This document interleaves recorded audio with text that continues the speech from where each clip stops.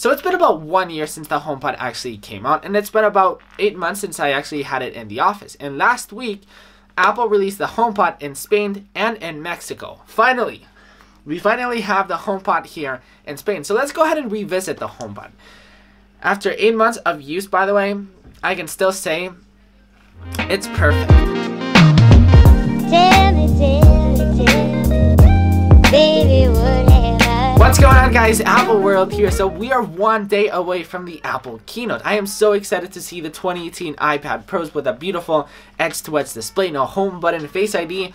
I am so excited for that iPad. But anyways, we are not here to talk about the iPads. I mean, by the way, there's a bunch of new leaks and rumors um, about the 2018 iPad Pros that actually got leaked yesterday. I didn't really want to make another iPad Pro video. If you guys actually want to know what's new tomorrow before the keynote, I will actually be live streaming um, and I will let you know of all the latest leaks. But anyways, tomorrow's the day. Let's stop talking about rumors. Today is the day to talk about the HomePod. So the HomePod, it's probably been one of the products from Apple that has been hated the most from people. I mean, the HomePod, there's so many people that hate the HomePod.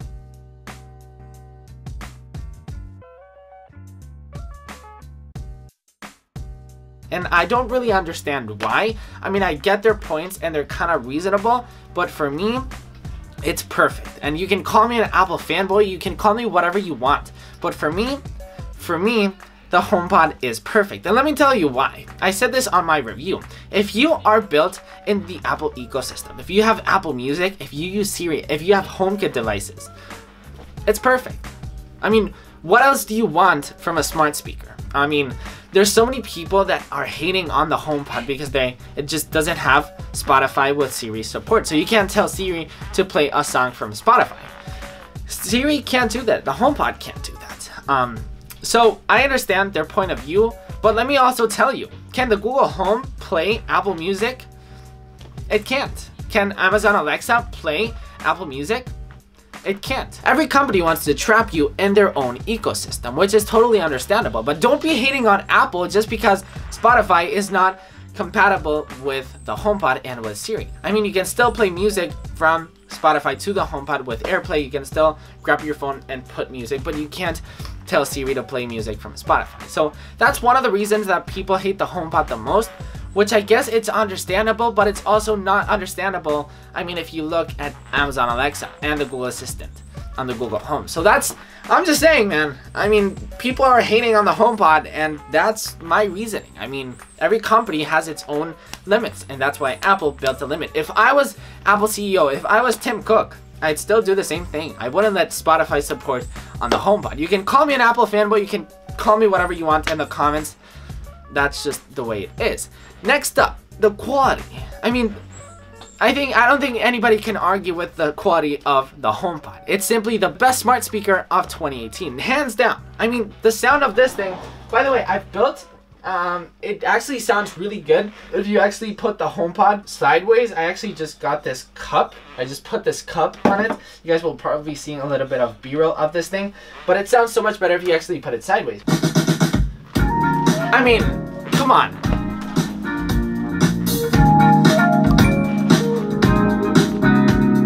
It sounds incredible. It sounds exceptional. It sounds so incredibly good. I can't even talk enough about the quality of the HomePod. I don't think anybody can argue with me that the quality of the HomePod sounds bad. It simply sounds amazing. So this is why I basically love my HomePod. It sounds amazing. I mean, the sound quality is exceptional. I mean, it can't get any better for a smart speaker. It's got subwoofers. It's got so much pure technology built into a smart speaker. Siri. I found Siri enough for me. Everything that I want Siri to do works fine for me. I use HomeKit. I can literally tell Siri, hey, turn the fish tank off. Got it. And there you go. Hey, turn the fish tank on. And there you go. I mean, Siri turns my fish tank on and off, and he turns my lights on. So yeah, if you have HomeKit devices, the HomePod will be so amazing for your home. Now, there's a lot of people hating on the HomePod because it has Wi-Fi instead of Bluetooth. Let's not forget that the HomePod is the Home Pod. Come on, say it with me. The Home Pod. It's not the portable pod. It's not the Bluetooth pod. It's the Home Pod. The HomePod is meant to stay at home. If you want a portable Bluetooth speaker, there's a bunch of other options out there which are great.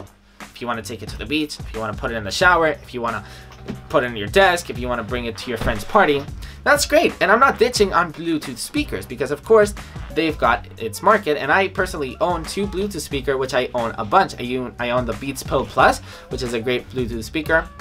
But that's not what the HomePod is. The HomePod is meant to stay at home, to trigger on your HomeKit devices, to, you know, turn a party on with this thing. I mean, this thing sounds amazing. So if you want this to be in your living room, for example, it's great for that. When Apple released the HomePod, it lacked a bunch of features. Now, with iOS 12, Apple has added a bunch of those features, such as you can now search by lyrics your music, you can now set multiple timers, which if you have your HomePod in the kitchen, for example, you can set multiple timers.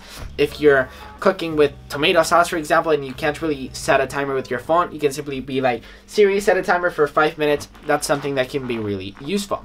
It can also find your phone. So I can be like, Siri, where's my phone? And the HomePod will actually ping my iPhone, which can be really, really useful. Uh, and of course, you've got Siri shortcuts now, so the possibilities are completely endless. By the way, I've never actually mentioned Siri shortcuts in the channel.